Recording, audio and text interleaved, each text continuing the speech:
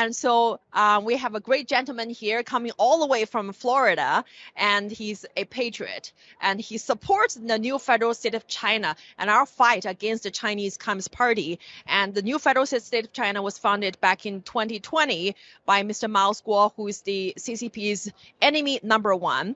And so we he has been leading more than 500 million Chinese people to take down the world's largest dictatorship.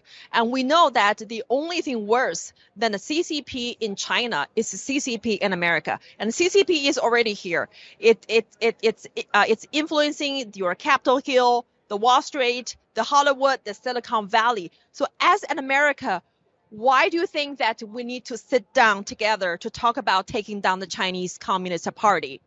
Well, thank you, Nicole. Uh, it's very important to understand that this invasion of uh, communism and socialist ideology has not just started now, it started decades in the past, and it infiltrated not just America, but other countries around the world as well.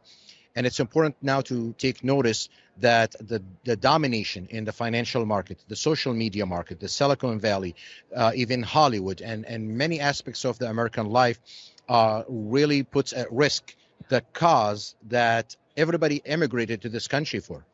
Uh, whether they came from China or from the Middle East or from Africa or from anywhere in the world, they came for freedom and democracy.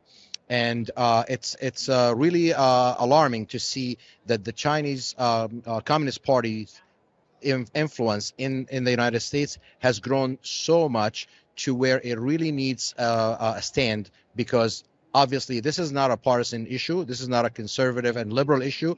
This is a human issue regardless of what political um, um, uh, view people have. They should all unite on giving freedom to the people especially that have been suppressed for so long under chinese communism and thank you so much for your deep understanding about the uh, CCP's infiltration and influence in this country, because you know we have seen how CCP has have grown strong, and thanks to America's freedom, I mean CCP has fully exploited America's freedom in this country to destroy freedom and we got to stop them. And you know, the most uh, notable issue is that the CCP has hired America's top law firm to represent their interest and trying to destroy the Chinese whistleblower uh, movement and the new members of the new federal state of China. So they're trying to destroy the most formidable enemy of the CCP on the U.S. soil.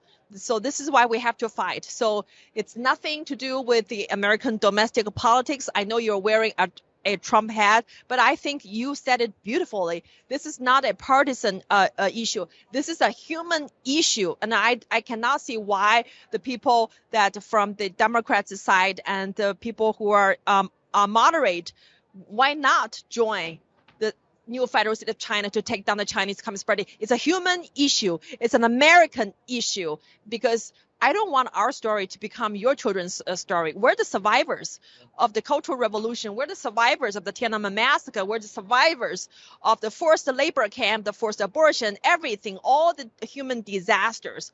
So we don't want our story to become your children's story.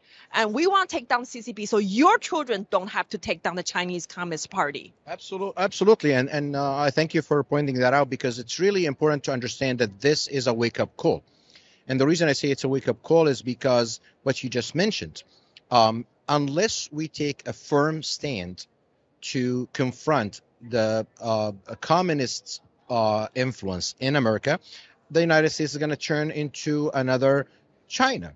And nobody wants that, whether they're Democrats, you know, Republicans or independents. Nobody really wants that in America. But it's also important to understand that uh, one of the vulnerabilities that we have in our democracy is something that the Chinese Communist Party has exploited using our laws and our democracy and infiltrated, turning our freedom against us by um, uh, infiltrating everything, every aspect of our lives whether it's the Chinese products that are uh, flooding the markets in the U.S. at a really cheap rate due to child labor and sweatshops in, in China.